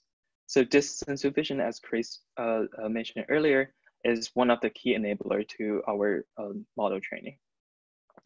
And empirically, we show that we can, uh, when compared to the DBpedia extractor baseline, we actually substantially outperform the baseline uh, using the new system. Here's how, how it works. Um, the RIPE system basically consists of two major uh, components. The first one is called relation extraction. The output of this is basically a triple where uh, the subject and predicate are canonicalized, uh, but the object remains just literal. So uh, we, what we do is we start from the subject. Subject in this problem is kind of trivial, right? Because uh, it's basically the subject of the Wikipedia article. And because we made a decision to actually train separate classifier for different uh, predicates, um, all those, you know, the predicate is also given uh, when you decide, uh, when, when you um, have the classifier ready. Then what it boils down is to find what are the possible values for the right, uh, for, for the right, um, you know, extraction uh, for this particular predicate. All those values uh, in the orange box can be potentially candidates then we base, uh, then we enumerate all of them and we just pair them up with the subject. For each such pair, uh, we, uh, we actually build a rich uh, library of features and uh, we represent them in those uh, lexicalized features. Um, as you all know, um, one of the key pieces to a capable machine learning model is the supervision. Um, and you know, Chris also mentioned that earlier, it's just not feasible uh, financially or from a, a, time perspective to label all those examples um, for dozens of predicates, if not hundreds. Um, so we made a decision, we made a design decision to use distant supervision to uh, create automatically create supervision. And um, Chris actually talked about a, kind of a generalization of uh, this technique but uh, one of the key heuristics uh, we have used is to match our unlabeled examples with uh, existing triples in the knowledge base. So in this particular case, we, we, we look at the Beatles, the pair of the Beatles and John Lennon, and we try to search for any triple that match the subject and the object. And it turned out uh, there is a relationship between them, which is uh, membership. And uh, whenever we find a match like that, we just label that particular unlabeled, uh, you know, a pair using the uh, relation. We use that uh, distant supervision and features uh, to train a bunch of classifiers for every single target uh, predicate and, uh, indicated by the PIDs here. Once we have the classifier, we apply those classifiers to each individual unlabeled example. And in this case, when we have the pair of the Beatles and Paul McCartney, um, the models would tell us, hey, uh, this PID, which represents the membership information, uh, membership relationship, is the most likely one. All right, so the second component of um, RIPE is called interlinking. So now that we have the triple with only the object being literal value, uh, we need to link it to uh, the entity ID. We need to disambiguate it. I won't go into too much detail here uh, because it follows pretty much the same process as we uh, as I described uh, in the relation extraction. We basically go to the uh, knowledge base and we try to identify what are the potential entities that can be candidates to be linked to this phrase Liverpool. It can be the city, it can be the football club, it can also be the university. Um, we uh, similarly we uh, we kind of generate a bunch of features to represent them, and uh, we rely on anchor links uh, to generate distant supervisions to train a classifier. Then we we apply the classifier over all those um, unlinked examples so that we can actually make a prediction and link the, um, uh, the object to the entity ID. To this far, then we actually have a triple with um, subject, predicate, and object all canonicalized, represented by IDs. All right, so we built this system. We want to know how, how good it is. So what we did is we actually prepared a evaluation set. Um, what we sample a bunch of documents. We run both RIPE and our baseline DBpedia uh, extractor over the same set of documents, and we pull those extractions and hand it over to uh, human annotators. They don't know uh, which extraction comes from which system. They just know if they just need to label if uh, an extraction is correct. This is how we collect ground truth sets. And then we just use a very standard uh, precision recall F1 scores to measure how the system is doing uh, with respect to ground truth sets. In addition to the precision recall in F1, we actually introduced a new uh, metric called list value completeness. Um, this is actually a this is actually a, a you know question answering. Uh, this is a critical metric to question answering because um, for a list valued uh, relation type like children, if we extracted an incomplete set, let's say we didn't extract Sasha, then whenever um, you know a user asks about Barack Obama, then we will be actually uh, returning an incomplete answer. If we extract something that is purely wrong, like Mary, um, then Siri will actually answer incorrectly. So that's uh, quite bad for our uh, kind of uh, Siri capability. So um, here are the results. Uh, we look at DBpedia. Um, they actually did quite well as expected on precision, but when we compare it to our uh, RIPE system, uh, we just simply outperformed them uh, substantially on recall, mainly because of two reasons. Uh, one, we use the machine learning model to do the interlinking, so we we're, we don't blindly trust the anchor links. So sometimes they make mistakes, but our machine learning uh, models will be able to pick up the right features to correct them. In addition, um, the, the extractor doesn't do super well on unlinked uh, entities. That's where uh, RIPE system shine. And as you can tell, uh, we did much better uh, at the list completeness, which allows us to uh, answer accurately those uh, list value questions. Um, if you want to uh, read more about this uh, in detail, feel free to check out our paper at NAACL 2019.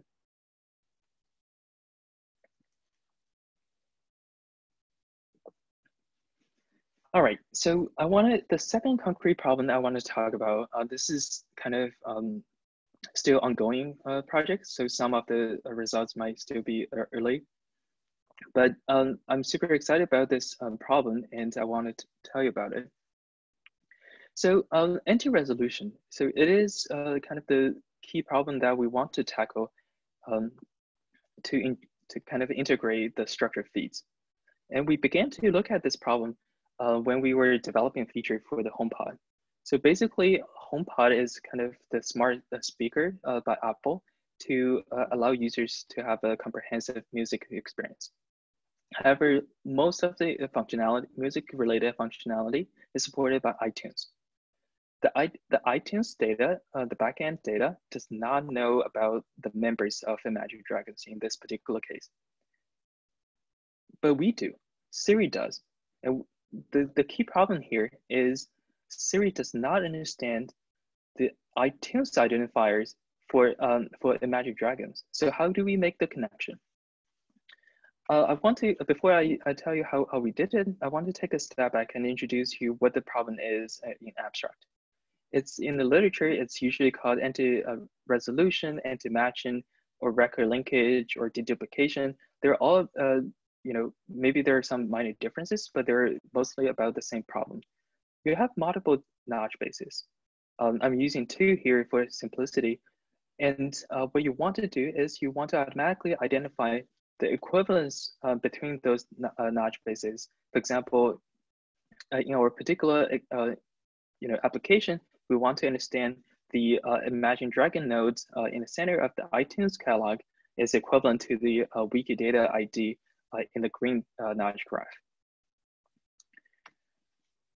Once we have this equivalence relation detected, then we will be actually make the connection and use the Siri um, question answering service to actually uh, answer the, the question a uh, user may have. Now, how we, how we solve this problem? We, we look at the data. iTunes is a very comprehensive catalog of all those music information, including albums, songs, uh, and artists. Wikidata is a general uh, purpose, uh, you know, knowledge base with a lot of like biographic information about artists, but not so much on uh, music information. So the only thing that we can reliably um, match them by the attributes are actually the names. The names are ambiguous. They're not super reliable. So how we solve this problem is actually making the problem more complicated by introducing a third knowledge base called uh, MusicBrainz. MusicBrainz is an open source uh, vertical uh, knowledge base. It doesn't have, uh, it's not as comprehensive um, as Wikidata in terms of uh, biographic information, or uh, missing information uh, with respect to iTunes, but it has decent amount of information for us to uh, make the match. So how we uh, so we started by matching MusicBrainz with Wikidata, and we merged the entities that that actually match uh, between the two. Then the merge entities start to have the music information that allows us to actually match with the iTunes entities. Uh, we built a, a, simple kind of uh, deterministic system to do the entity resolution for this particular problem, uh, particular problem. And we uh, evaluated and see how, how we are doing here. We look at the most popular um, artists um, in the American iTunes store. And also we, we kind of sample just uniformly randomly. We have two data sets and we basically use this uh, standard precision recall to measure how well um, our system is doing. As you can tell from the table, our system is actually doing uh, fairly well in terms of precision. On the popular sets, um, it can actually achieve uh, you know, a recall close to 90%. This is great. Once we built this, we realized there is a lot of value in such uh, structured feeds.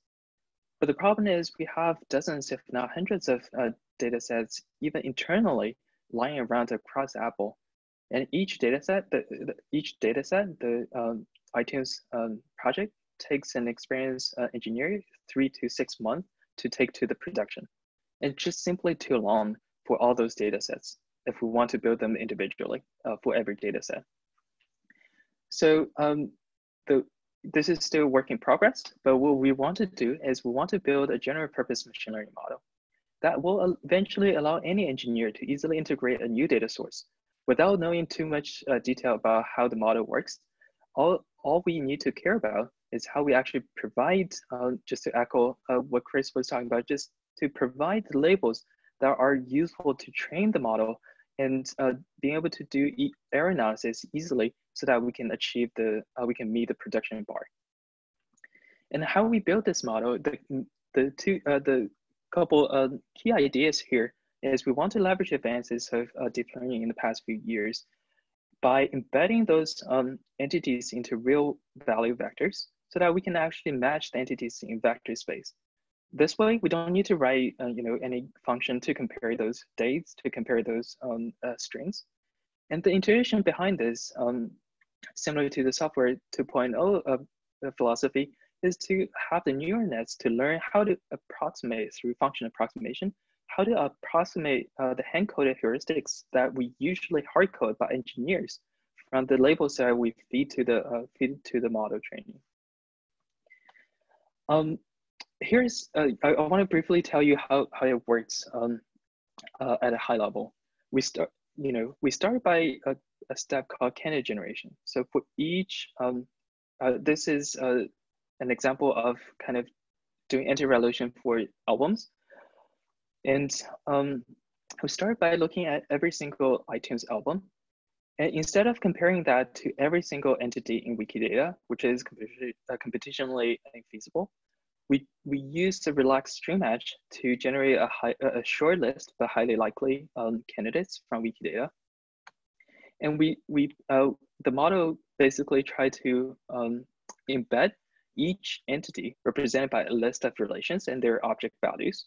So we embed the relation into the orange um, vector, and we embed the, um, uh, the object value into the blue one. And once we have those list of um, uh, embedding vectors, we apply an encoder.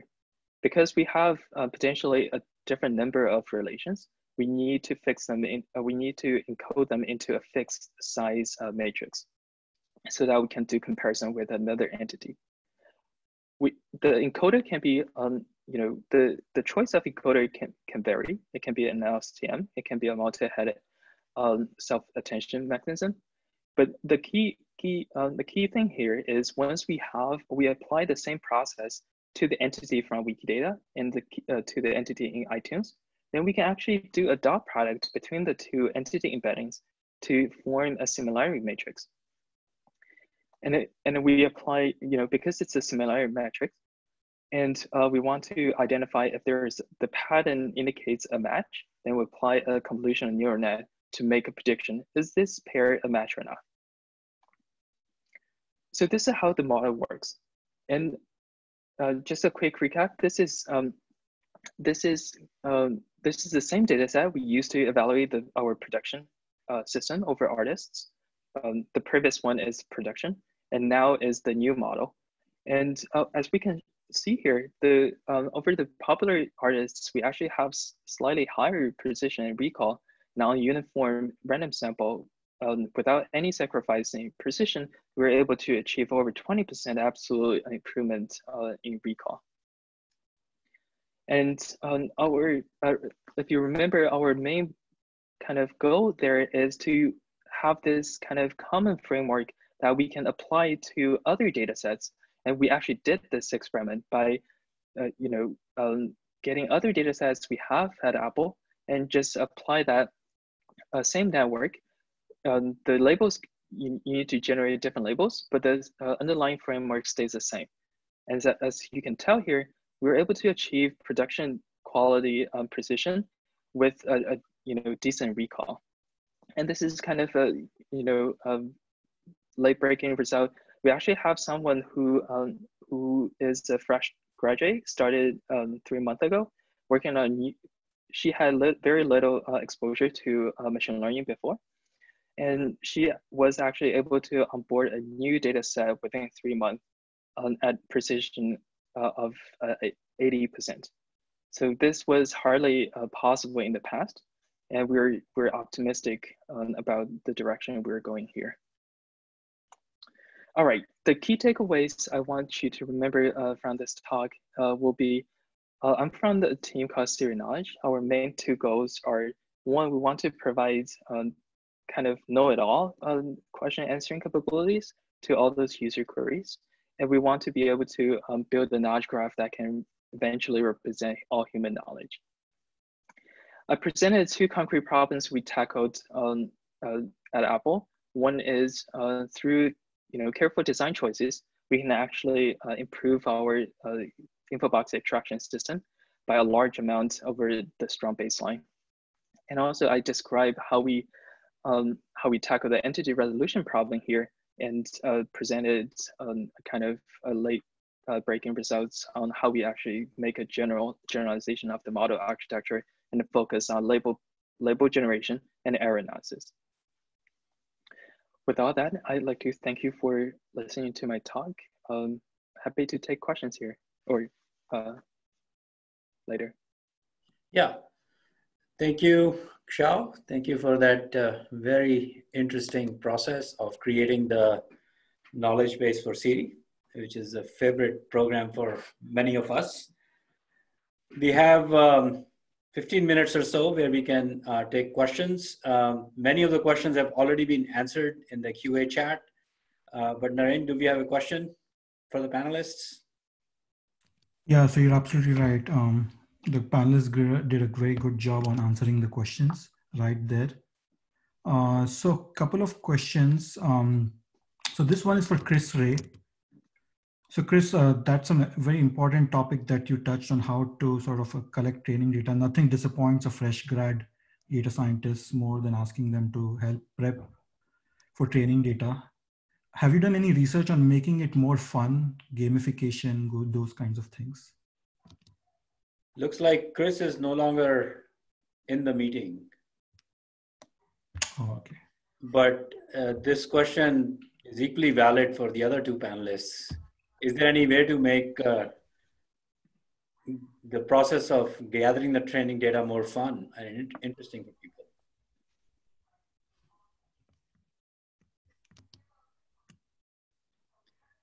Juan, Xiao, do you have any take on this? Uh, Juan, you might be muted. Yeah, you know, it's it's very very funny. I, am actually looking at my my my personal notes, and I actually wrote a note on gamification incentives for data integration. So, um, I all I can say is uh, I think that would be a great idea, and I've been I just wrote it down in my personal notebook a couple weeks ago. So, yes, somebody work on it, please. cool, thanks. So here's another question for Xiao. how do you decide which pages of Wikipedia to parse in which languages? Uh, do you basically get started with some specific things? How do you, how often do you update this knowledge base? Right, excellent question. Um, so uh, let me maybe start from the last question. So uh, as, as Siri Knowledge, we actually uh, continuously update our knowledge base on a daily basis. So any um, inputs to Wikipedia, um, we try to run them on a daily basis so that you know new information can be updated in Siri Knowledge Graph. Um, how, how did how did I decide which pages uh, to parse? Oh, great. So um, some of the aspects are very entity type related. So uh, we started by looking at all person pages because they share a similar um, kind of a common set of attributes because that's uh, the classifier we're build, uh, building on top of. Uh, and then we gradually expand to other types, important types. Um, we have been mainly focusing on uh, languages. Uh, sorry, we have been uh, mainly focusing on English, um, but we have some existing work on tackling, you know, similar the same problem in other languages such as Spanish, um, Chinese, Japanese, Korean, etc. However, uh, the main benefit of tackling other languages are uh, not because of the you know common facts because when you look at those facts they're canonical. A fact is a fact. It doesn't matter which language they're expressed. Uh, what matters is um, some entities might be might be existent uh, in the spanish wikipedia rather than in the english wikipedia. If we don't build the uh, extractor for the spanish one then uh, we, we basically just missed the, uh, missed the extraction. However, that also in, in, incurs uh, potential problems because uh, what if the you know Spanish the extraction the, the data from the Spanish like the birthday for the same person in the Spanish and the English Wikipedia articles, what if they disagree? Then you basically uh, need to kind of find how do you you know build a fusion model to uh, resolve the conflicts. Um, I hope that answers the question. Cool, thank you. So another question for Juan. Um, so I think a lot of the audience is from the industry. Uh, so this question has resonated with a lot of them. On your um, slide about the knowledge scientist, can you talk more about that? How do you suggest people, how do you kind of hire people for this role? Also is it like a horizontal role? Is it like a vertical role? So there are a couple of yeah. questions that map to this. So let me i'll talk I'm, I'm, glad this came up. So i think the knowledge scientist is something first of all it's kind of it's the knowledge engineer 2.0 so if we go back into history i'm a big proponent of understanding history because otherwise we're reinventing the wheel. Um, we had the knowledge engineers in the late 80s and the early 90s, right? They were the ones building expert systems, getting the rules out of that, and creating the rules, talking to the experts, uh, be able to devise that. Um, so within an organization, the common characteristics that we've seen of people who are great candidates for knowledge scientists are people who, uh, who, again remember they work on the with both sides of their brains right? They're people persons right? But they also understand to work with tech people. And they're great at uh, uh, doing data modeling. So they know how to use your, your, traditional data modeling tools. They can go up into a whiteboard and they can go under have the conversations and draw things on the whiteboard. That's one very important aspect. They also like to do documentation believe it or not. A lot of people who've been in organizations they they're, they're very diligent. I want to have all my documentation out there. And, and then on the more on kind of the on, on the other side of the brain, there are people who actually know very well uh, SQL. They they but they know SQL. They know how to write scripts and stuff. So they have that balance between those two things. Um, and I think we're starting to see a lot of these the, the, these two these uh, companies looking for them they may be they may still be called ontologists but they're not just about kind of creating your schemas. I think it's really other people who are very clear who are great uh, um, they, they, they can they here's an example real world example we had is they're musicians uh, they actually have dual degrees in computer science and in English and literature and philosophy. So that's an example of people working with kind of both sides of the brain. So those are the candidates that we found people within organizations and also hiring. So I think I know there's more people coming in, but more questions. Yeah, I have a question for Xiao. Uh, I mean, you are addressing the core problems in building a knowledge graph, uh, entity resolution, and entity linking. And in addressing these problems through machine learning, the biggest bottleneck is the training data. And if you have the training data, uh, human validation, right?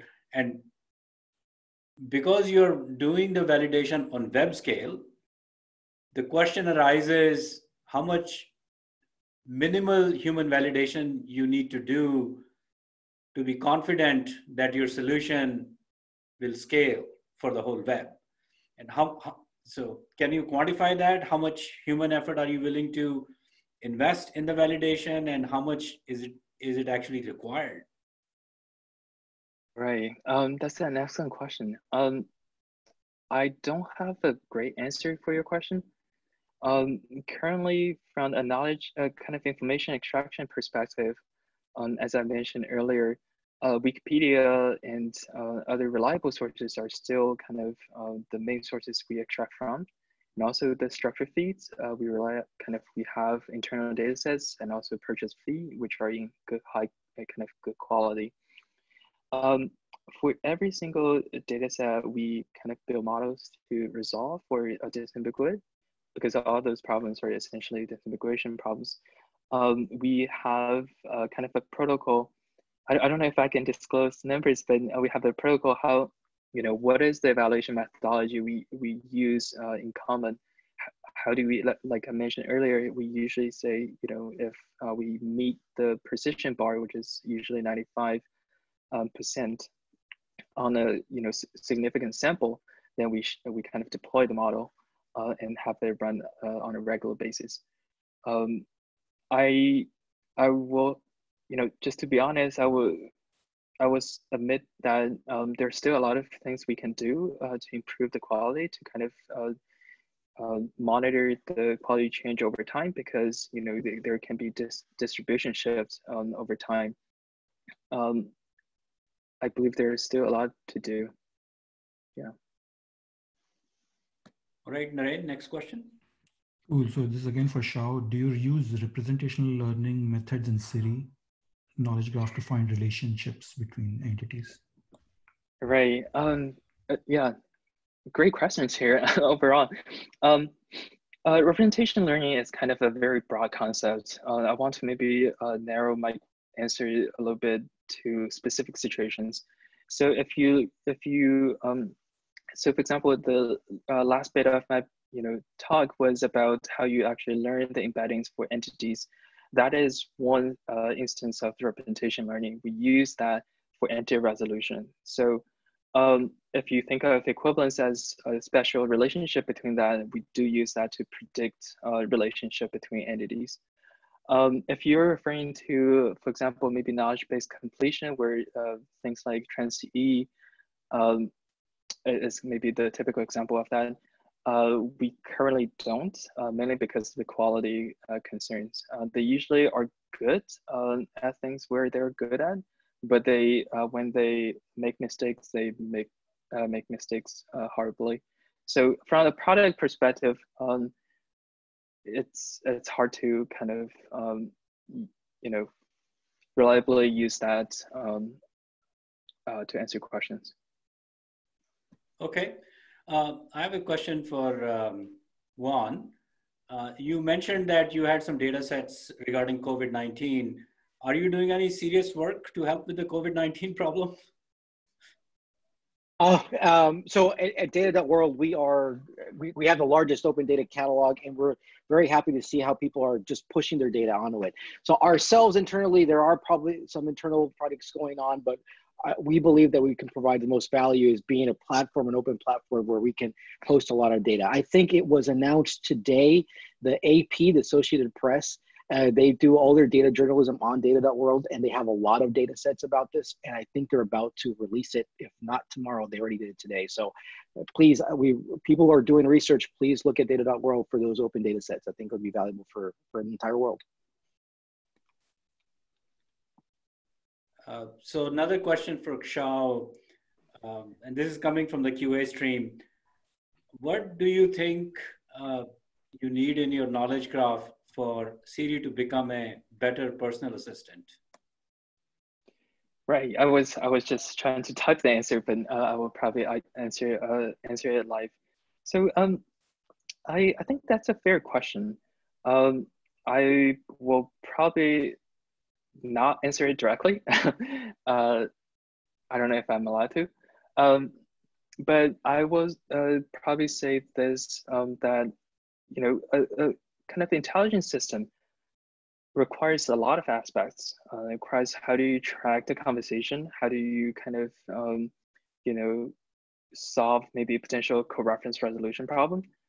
Um, the work that, you know, um, my team has been working on, uh, the team I'm at, um, we have been focusing more, uh, kind of try to understand those questions because it's understanding single questions is already a very challenging problem. Um, and we are trying to answer that precisely. So rather than just kind of chit chat like um, conversations to make the conversation go in, um, kind of the whole Siri organization is working very hard to kind of put all the pieces together. Why uh, we are lacking behind? Um, uh, I, I don't think uh, I'm the right person to answer that, just to be honest.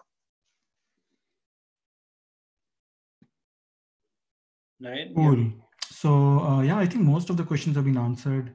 There's some very specific questions. Um, what tool is a good tool, generic good tool for inference in KG? Do you have some suggestions for the audience? Um, so I think there's several different kind of open source uh, inference engines. Uh, I know, for example, like out of academia, went into industry well is a system called Pellet, and that's part of Stardog. Stardog is a, a, a graph database. Uh, that's one um, off the top of my head. I mean, a lot of these databases already have them incorporated. I think there's going to be a session here about uh, inferencing and stuff. So um, I think that's, I'm looking forward to that one too. Cool. Uh, thank you. So I think we just have five more minutes. So maybe we can end, end in this sort of an open question on your mind, what are some open research questions that you would like to solve next, both of you? Jai, you can go first, and I'll, I'll go. oh, sure. Yeah. Um, there are a lot of uh, open open questions. So, um, so we, we built this kind of general purpose um, entity resolution problem. Uh, it works well for uh, kind of purchase feeds because their ontologies are uh, kind of well defined um, very different from the situation that Juan was talking about, uh, which is completely, you know, very messy. Um, it would be interesting how, how you would do entity resolution and ontology alignment uh, together. Uh, currently, for ontology alignment uh, for us, um, because the data sets are so well uh, defined and the, the kind of the attributes we need to use for matching are kind of usually in dozens, it's, um, you know, it's easy for a human to actually sort it out within a day. Uh, and we have ontologists uh, working on that. But it will be interesting if we can find an autom uh, automatic way to do that.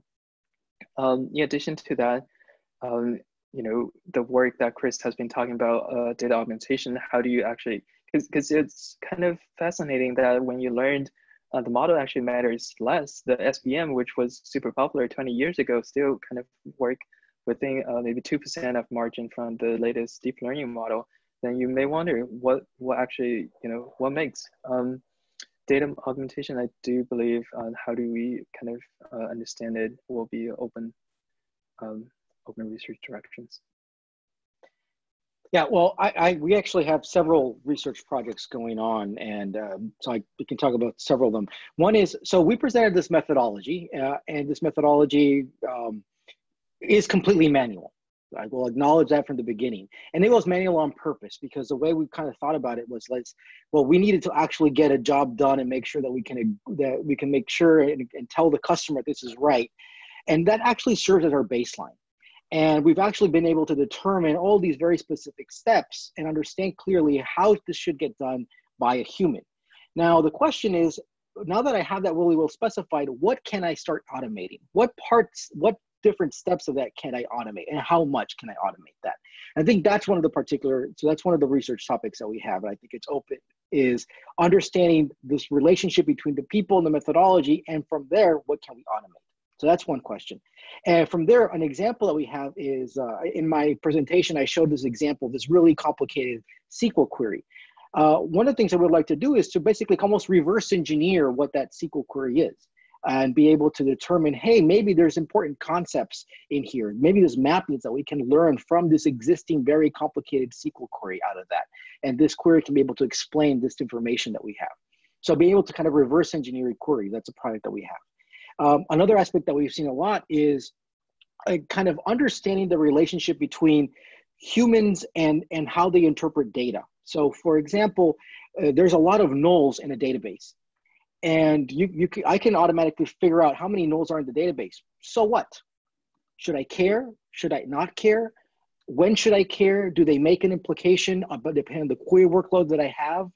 you can see from the theoretical side for the last 40 years, or if not more, people have been, been studying different semantics of nulls, but we really do not know how those different semantics of nulls are interpreted by people and even how they're implemented in different systems.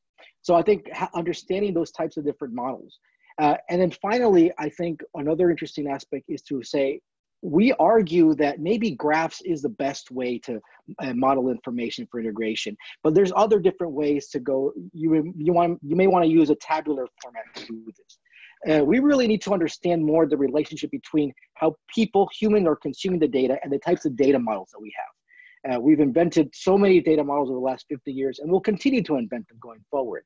How do we know that this is the best data model for X, per, X or Y particular use case? I think these are very open, open questions, and, and there's an interesting theory, there's interesting systems to be built, and there's interesting kind of overlap between kind of the social sciences and also the computer sciences.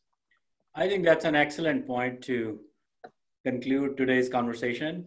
I really thank both of uh, the speakers as well as Chris Ré for illuminating us from very different perspectives, very manual way of doing data integration, automation, weak supervision, and some mixture of the two. So thank you all very much. And we look forward to being here next Tuesday, same time. Thank you. Thank you. Thank you very much for everything. Thanks.